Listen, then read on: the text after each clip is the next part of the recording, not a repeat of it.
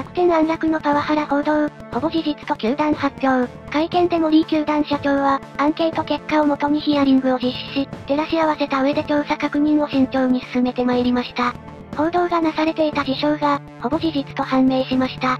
本人は本当に申し訳ないと反省の弁を何度も述べております、と説明し、さらに保有選手名簿に記載しないと決めました。誠に申し訳ありませんと謝罪した。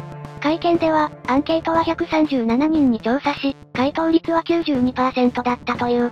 直接の被害は約10人で、見た聞いたという選手は約40人に上った。見聞き40人。一緒にいじめてたやつとかはおらんかったんかな。見た聞いたと答えたのが40名って公然の事実状態やん。逆に言えば安楽だけってことだよな。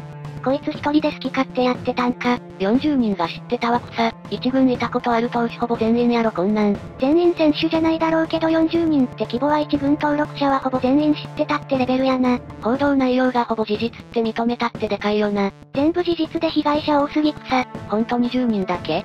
と思ったけど、安楽は基本一軍だからそんなもんかも。いじめをクラスメイトが見過ごしてただけやな。40人の中には大物ベテランもいたのでしょう？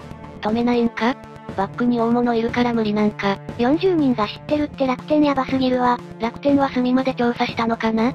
他の選手の関与法ないと踏み切ったか。素直にチクられるあたりマジで嫌われてるんやね。40人は見聞きしていた。すまんこれ今まで問題になってなかった方が問題ちゃうか？ご視聴ありがとうございました。